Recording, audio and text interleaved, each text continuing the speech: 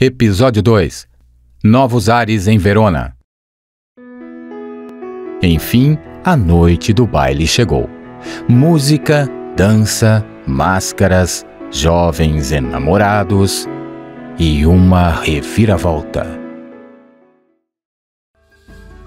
Espero que essas máscaras sejam suficiente para nos ocultar, Romeu.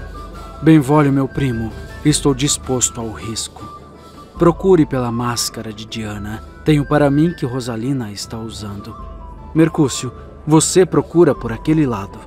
Está bem, Romeu, mas vamos dançar. Assim nos misturamos mais. Estou com a alma pesada demais para dançar, Mercúcio. Dance vocês.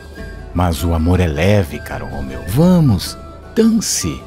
Ah, para mim o amor é pesado como chumbo, Mercúcio, e espinhoso como o caule de uma rosa. Já encontraram a máscara de Diana? Ainda não. Veja, os anfitriões, senhor e senhora Capuleto, vêm aí. Temos que admitir, esses Capuletos sabem dar uma festa. Ouvi dizer que esta festa é para que Paris faça a corte à sua filha. Filha dos Capuletos? Sim, você a conhece, Romeu? Já ouvi falar, mas nunca vi tal dama. É porque só tem olhos para Rosalina e também porque ela é muito reclusa. Eu também nunca vi. Só ouvi falar, mas dizem que é muito linda. Damas e cavalheiros, o senhor e a senhora Capuleto. Acendam mais tochas! Dancemos todos! Música!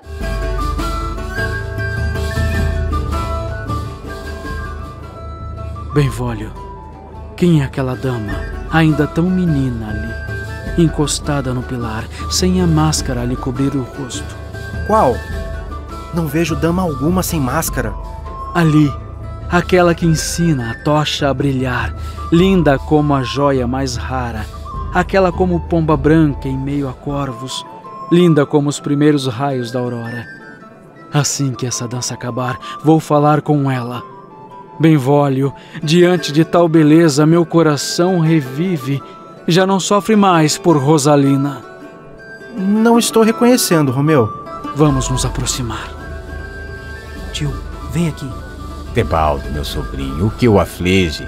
Não vês que estou dançando? Ou pelo menos tentando. É urgente, vem aqui. Com licença, meu marido. Vou deixar você com o nosso amado sobrinho e ver se encontro Pares. Ainda não o vi. Toda. Já estava precisando de um descanso mesmo. É, vou me sentar. Veja aquele ali. Tirou a máscara por um instante e eu o reconheci. É um Montecchio. É Romeu, o próprio filho do velho Montecchio em nossa casa. Vou matá-lo com a minha espada por essa afronta. Calma, Tebaldo. Fique quieto e guarde essa espada. Deixe-o em paz por hora. Ele está se comportando bem. Já ouvi dizer que é um jovem adorável. Além do mais, lembre-se da confusão de hoje cedo na praça. O príncipe não será condescendente se mais uma briga acontecer. É melhor você se retirar. Vá, só volte aqui quando estiver calmo. Sairei, tio. Pois aqui não conseguirei segurar a minha vontade de furar esse Romeu bem no coração. Mas ainda terei minha oportunidade para fazer isso. Isso, vá. O que aconteceu, meu marido? Acabei de esbarrar com o nosso sobrinho e ele estava bufando raiva pelas ventas. Não quero preocupá-la com isso agora, mas e Pares, onde está? Acabei de receber esse bilhete das mãos da ama. O Conde Pares teve compromissos inadiáveis e não poderá vir. Então vamos aproveitar a festa. Um instante. Damas e cavalheiros, essa noite nos enche de alegria. Muito obrigado a todos que compareceram. Mais música! Dancem, meus amigos, dancem! Romeu, onde está indo? Benvolio, ela está sozinha. Vou falar com ela. Tenha cuidado. Não sabemos ainda quem é e se for casada ou comprometida. Vou descobrir agora.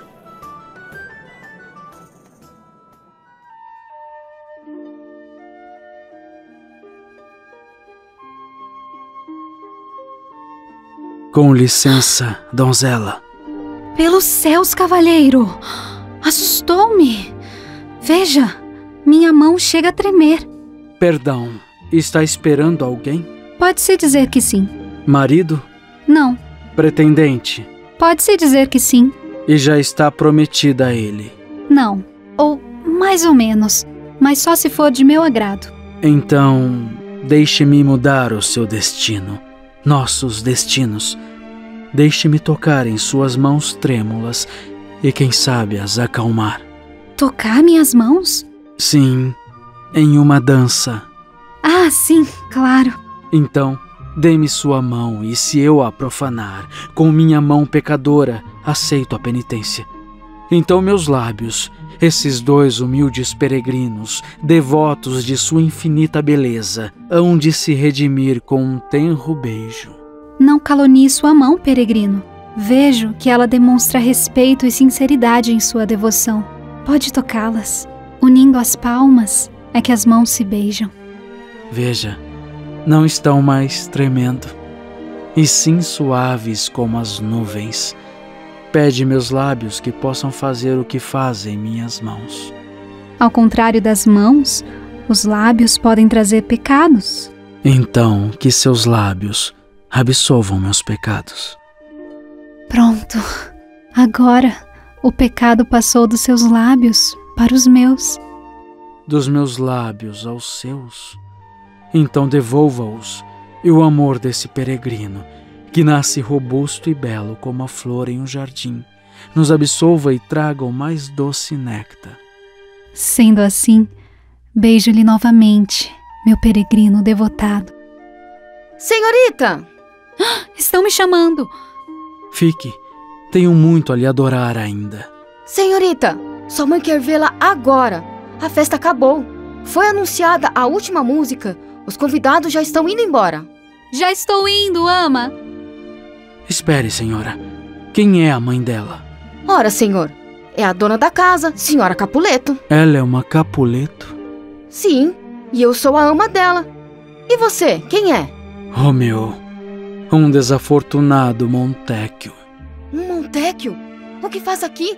O que estava fazendo com Ju? Vá embora! Rápido! Mais uma vez o amor me trai. De hoje em diante, devo minha vida ao inimigo. Romeu, a festa acabou. Todos estão indo embora.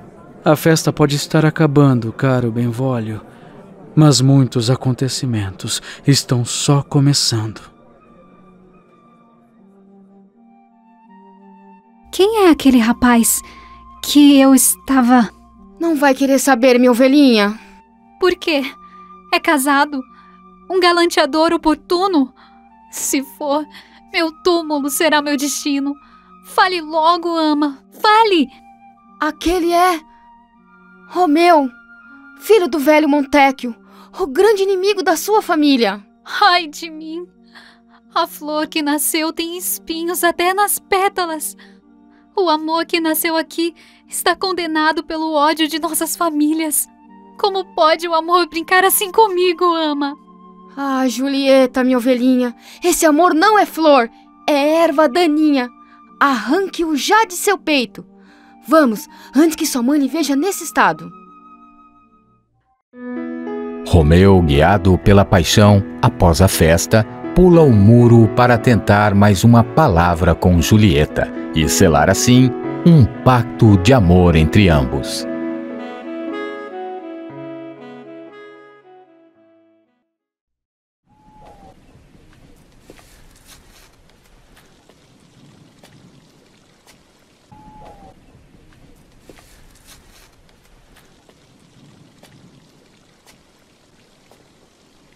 Quanto infortúnio!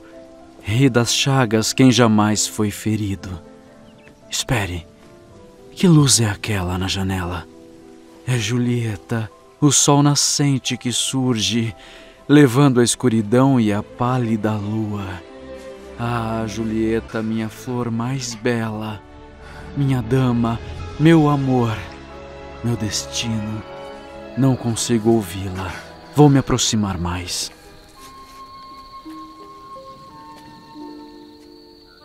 Próprio sol deve ter emprestado seu brilho para aqueles olhos. Como está linda, apoiando o rosto à mão, Ah, como eu queria ser uma luva em sua mão para poder tocar aquela face. Ai de mim. Está falando. Fale de novo, anjo brilhante. Romeu. Romeu. Porque você é Romeu. Renega teu pai. Renega teu nome. Ou se não quiser, basta me jurar amor e deixarei de ser uma Capuleto. Como é doce sua voz. Não sei se respondo ou se faço silêncio para ouvir mais. Romeu, apenas seu nome é meu inimigo. Você continuaria sendo quem é se acaso não fosse um Montecchio. O que é um nome? A rosa não continuaria tendo o mesmo perfume se outro nome tivesse. Se o nome Rosa renegasse. Romeu, jogue fora esse nome e me tome por inteira. Julieta, meu amor. Romeu, meu peregrino devoto, você aqui. Como conseguiu transpor os muros? As asas do amor não conhecem empecilhos. Minha família o mata se te pegarem aqui. Há mais perigo em seu olhar do que em vinte das espadas de seus parentes. Por nada nesse mundo quero que o vejam aqui. O amor me guia para longe deles e para perto de você. Não importa que me vejam, prefiro a morte pela espada do que pela ausência do seu amor. Romeu, você me ama? Diga sinceramente.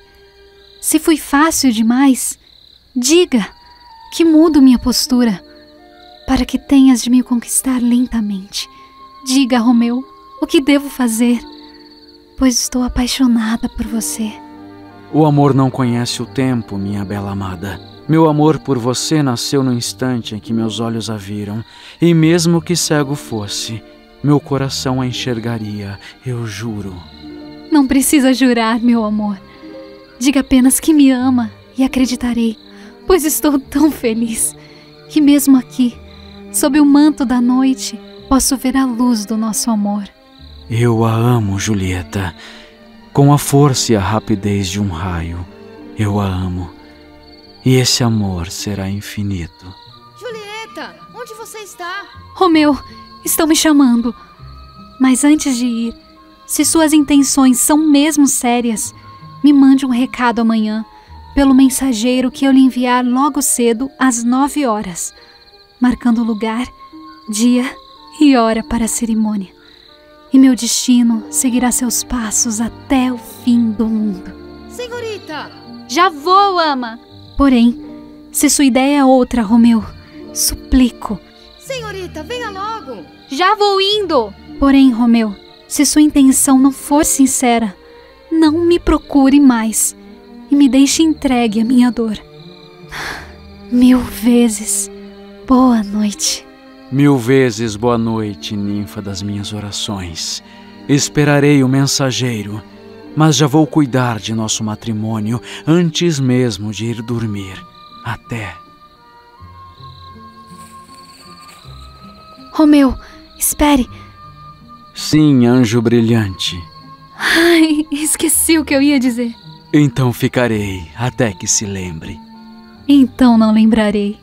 Só para que fiques aqui em minha companhia. Enquanto isso, vou escalar até aqui, por esse cipestre, e selar nosso pacto com um doce beijo.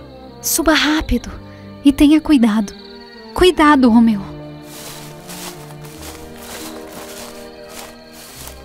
Pronto. Aqui estou.